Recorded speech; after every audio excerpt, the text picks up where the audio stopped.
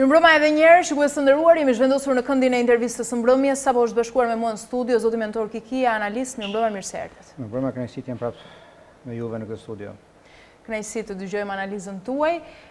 Në fakt, në këto minuta është duke u zhvilluar seanca e jashtëzakonshme e Parlamentit, janë të gjithë të pranishëm, po konkretizohet tashmë marrëveshja Rama-Basha. Si u duket qeveria e re? Në fakt, nga do që ta kapësh, apo nga do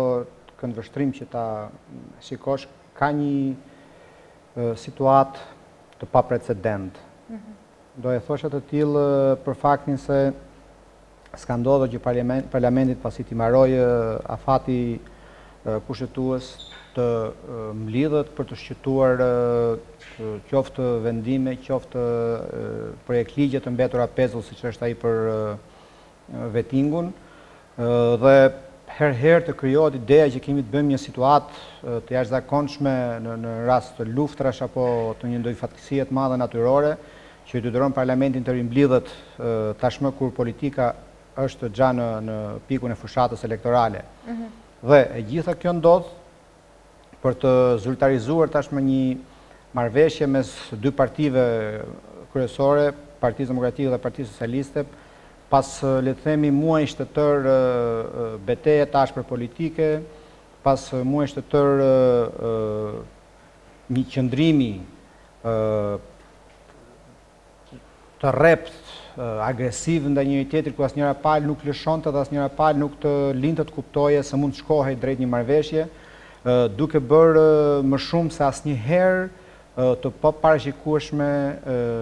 çfarë do të sillte e nesërmja në politikën shqiptare, duke bërë që të gjitha analizat e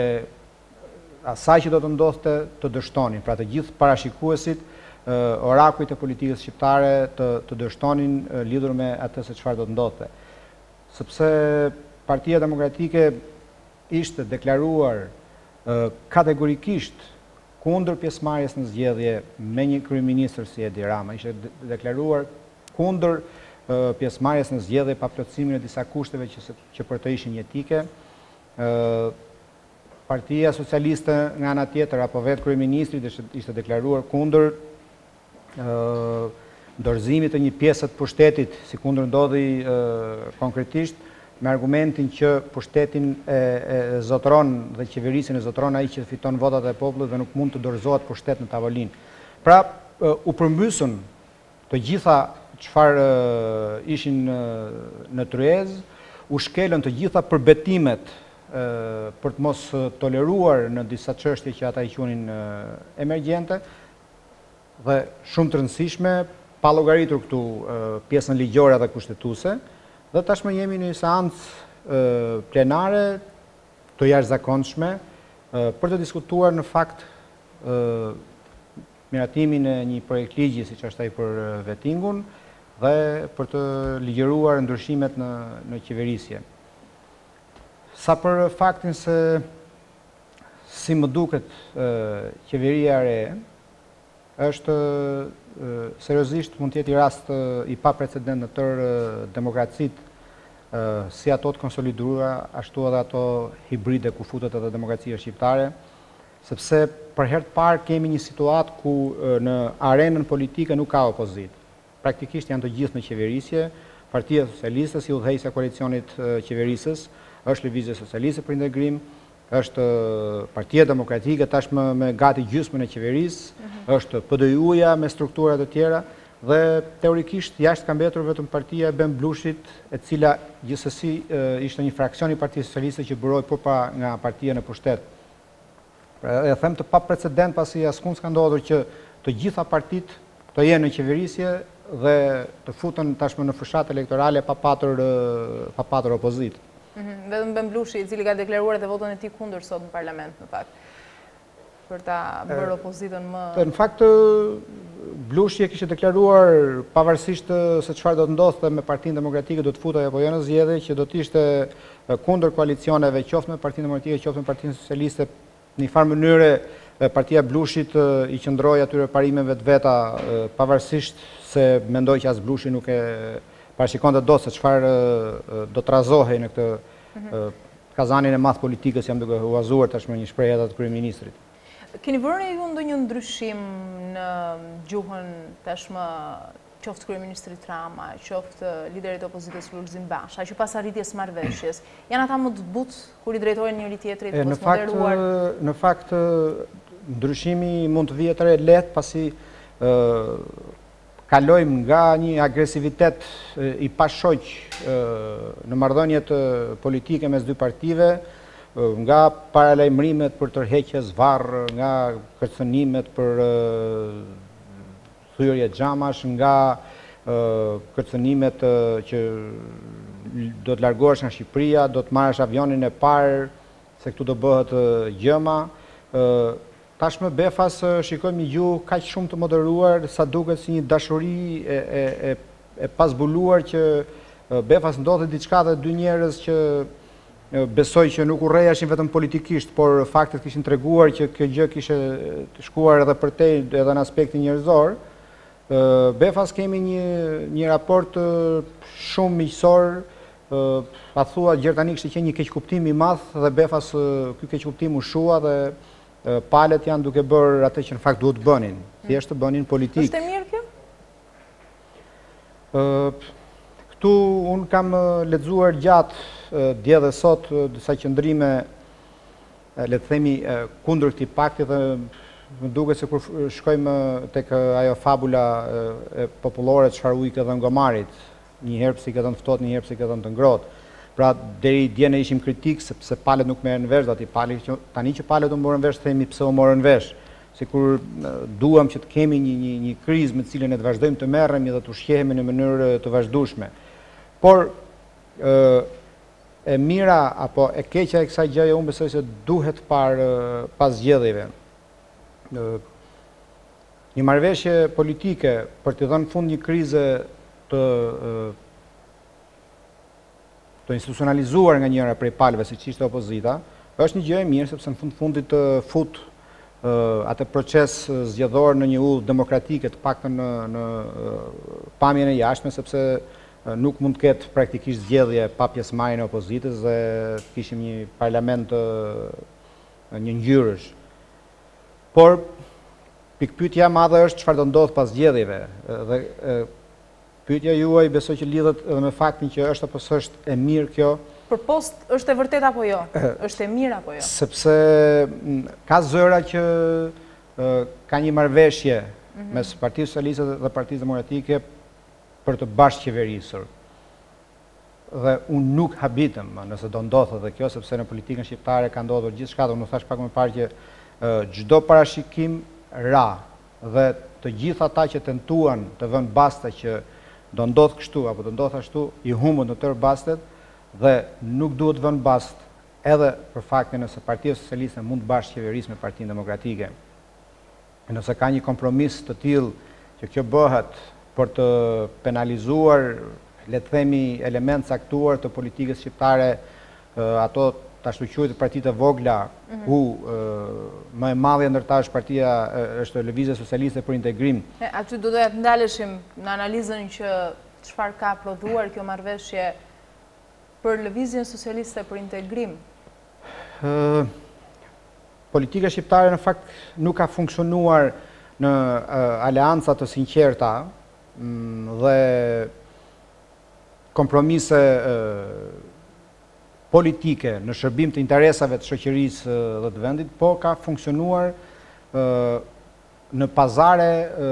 dhe kompromisi nga pazari ka një ndryshim shumë të madh, kompromisi është një marrëveshje serioze për t'i shërbyer vendit. Ndërsa pazari është një më jep t'jap në kurriz të interesave të shoqërisë, në kurriz të interesave të vendit. Dhe gjithmonë koalicionet kanë qenë pazare. Dhe një tillë ka qenë koalicioni PD, LSI, një tillë ishte koalicioni PS, LSI, Dhe në prag të këtij procesi zgjedhor, ndërkohë që vendi, pra politika ishte futur në atë krizën e saj fillimisht le të themi artificiale, por më pas serioze dhe duke penguar seriozisht deri dhe zhvillimin e procesit zgjedhor, dhe shenjat ishin me anullimin e zgjedhjeve në Kavajë. Pamë një LSI e cila shikohej në një pozicion dominues në në gjithë atë skenë, ndërsa përplasej PD dhe PS,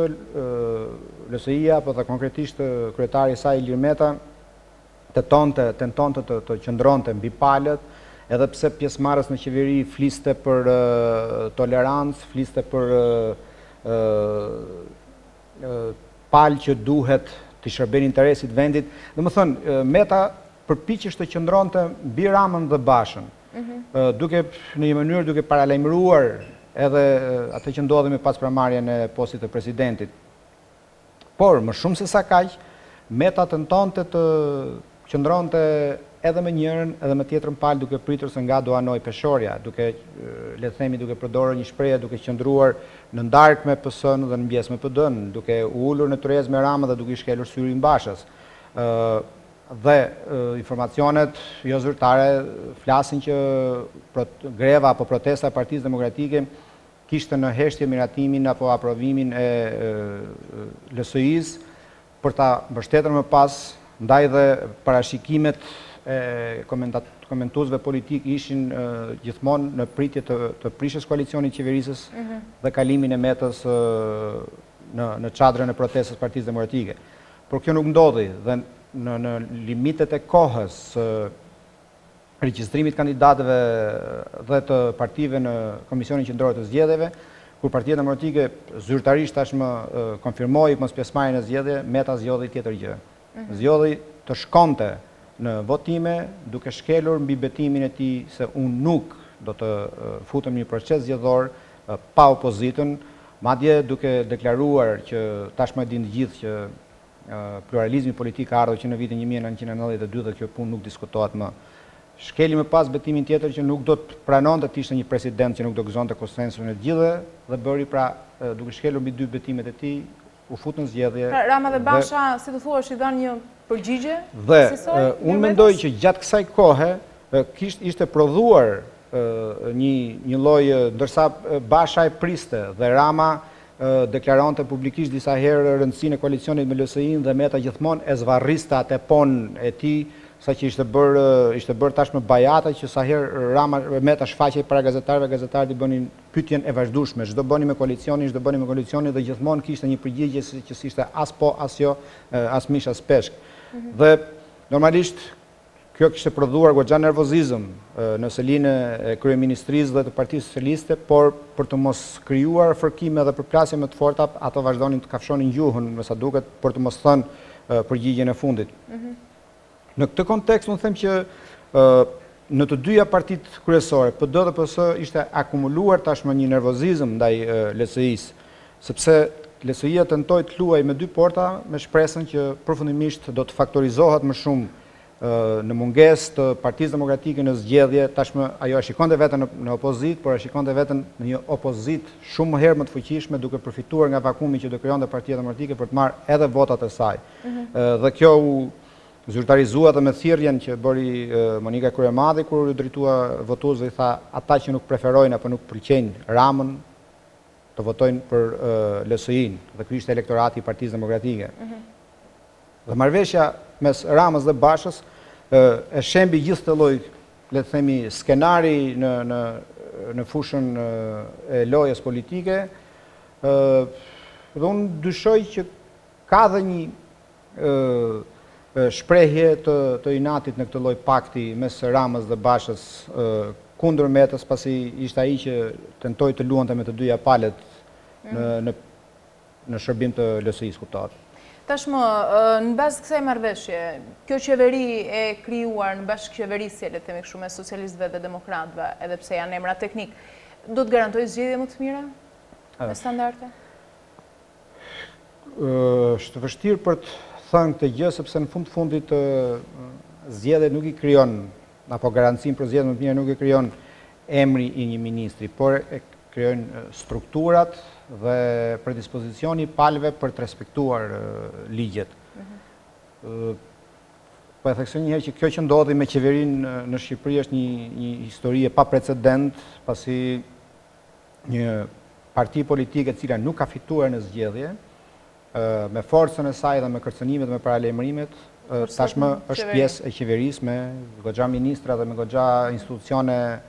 kushtetuese të rëndësishme për të drejtuar përfshi këtu edhe Komisionin Qendror të Zgjedhjeve. Mhm. Megjithatë drejtimi apo strukturat që kanë në drejtim ministrat e Partisë Demokratike apo të propozuar nga Partia Demokratike Janë goxha me peshë në përgatitjen dhe në drejtimin e procesit zgjedhor, siç është edhe Ministria e Brendshme që përgjigjet për garancinë dhe sigurinë e rendit publik, apo Komisioni Qendror i Zgjedhjeve. Megjithatë, unë them që se sa i drejtë do të jetë procesi zgjedhor varet më shumë nga vullneti politik i palëve. Sepse në mënyrë sistematike kanë qenë vetë partitë politike që kanë prishur sistemin zgjedhor. Kanë qenë komisionerët e partive politike që në varësi të urdhave që mernin nga shefat e tyre, mernin vulën e KZAZ-së në xhep dhe zhdukeshin. Jemi ne që kemi bërë kush di sa herë lajme gjatë ditës së votimit që pezullohet procesi në X qendër sepse largohet komisioneri, sepse dikush nuk pranon firmos procesverbalin meqë partia e tij shikon që ka humbur.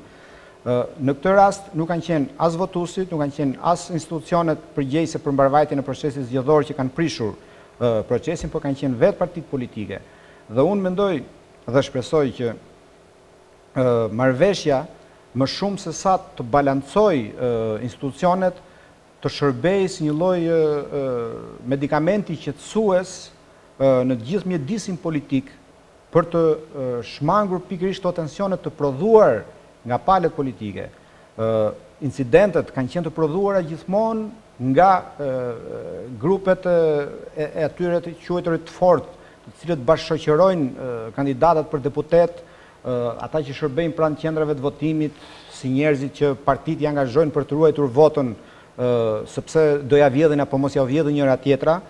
dhe kjo marrëveshje unë shpresoj që të largojë nga qendrat e votimit pikërisht edhe këtë kontigjent i cili në zgjedhjet e kaluara nuk ngurroi të përdorte as armët siç ndodhi në në Laç.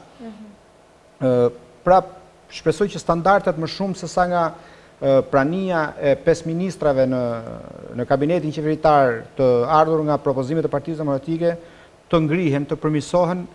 pikërisht nga kjo frymë e re dhe ajo gjuha e dashurisë së sapozbuluar që folëm pak më parë mes Bashës dhe Ramës, unë shpresoj të përcillet poshtë në bazë për të garantuar pikërisht një ditë të qetë votimi dhe mbi të gjitha një proces normal numërimi për të mos shkuar numërimi i votave një javë apo dhjetë ditë siç është bërë zakon por të përfundojë një kohë reale dhe në fund palët të pranojnë rezultatin dhe ky do të ishte standardi më më i arrirë i zgjedhjeve, në një proces zgjedhor në Shqipëri. Kush palë doli më e fituar nga kjo marrëveshje? Që të që të bësh këtë lloj bilanci duhet të kesh qenë në dhomën ku ka biseduar Rama dhe Basha dhe se çfarë kanë për çfarë kanë rënë dakord përtej asaj që ne dimë dhe unë besoj që ka më shumë se sa unë besoj që ka më shumë se sa ajo që ne dimë të dyja palët pretendojnë që kanë arritur të fitojnë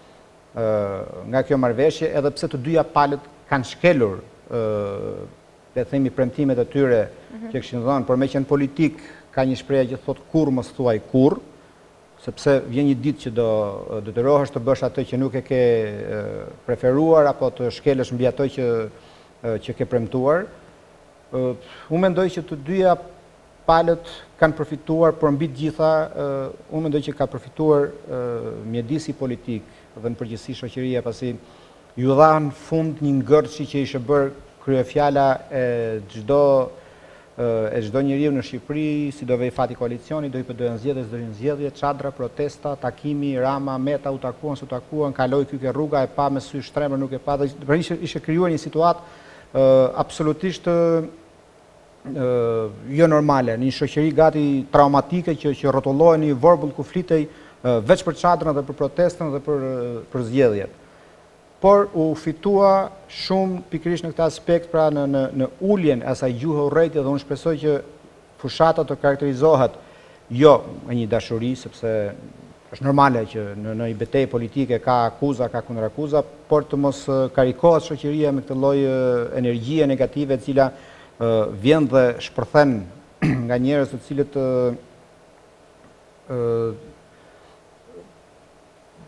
tërhiqen nga partitë politike pikërisht për përbërë atë kontigjentin që unë thashë pak më parë që nuk heziton të përdorë as armët. Megjithatë, unë mendoj që Partia Demokratike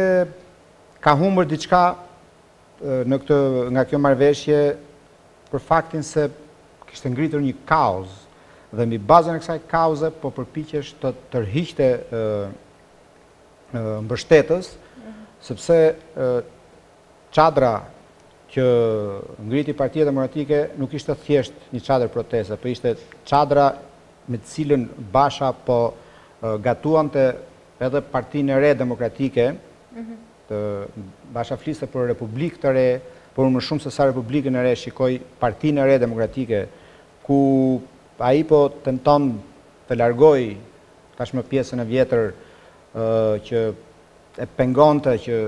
ta kontrollonte Partinë Demokratike jo thjesht në kuptimin e keq të fjalës, por të kontrollonte në aspektin vendimmarrës dhe siç e pamë u afruan një kastë e re të rinjsh, profesorë, drejtues të shoqërisë civile dhe u ekspozuan gjithnjë e më pak njerëzit historikë të Partisë Demokratike. Dhe unë mendoj që këtu nuk ka asgjë të keqe, pasi politika në fund fundit është një cikël jetësor dhe partia është një njeri që u plotëson një moshë caktuar dhe mhm. duhet t'ia lërë vendin një gjenerate tjetër. Unë kjo është një dëshirë e mirë tani shpresoj që kjo që ndodhi të jetë një start për një rinovim të të gjithë klasës politike shqiptare dhe e shikoj me një lloj optimizmi ë ndoshta është pak e tepruar ta ta besoj por që marrëveshja PDPS do të çojë në eliminimin e shumë partizave të cilat janë ngritur në mënyrë krejt artificiale dhe janë stimuluar qëllimisht për të fragmentarizuar votën nga parti të mëdha pra kanë qenë të sponsorizua qoftë politikisht qoftë financiarisht Dhe unë mendoj që këto partiza të mund të zhbëhen, sepse në fund fundit thjesht kanë kanë kanë prishur punë sepse kanë qenë parti që kanë tërhequr shpesh edhe njerëz që i përkasnin asaj pjese të shoqërisë që s'duhet ta kishin vendin kërkund në, në politikë. Dhe unë shpresoj që thash në, në një rilindje, apo ringritje, apo riformatim të, të gjithë politikës shqiptare. Falenderoj shumë për këtë bisedë. Faleminderit juve. Shikues të Channel One, do të ndajemi këtu së bashku, Intervista e Mbrëmjes rikthehet sërish nesër, mbrëmje të këndshme, natën e mirë.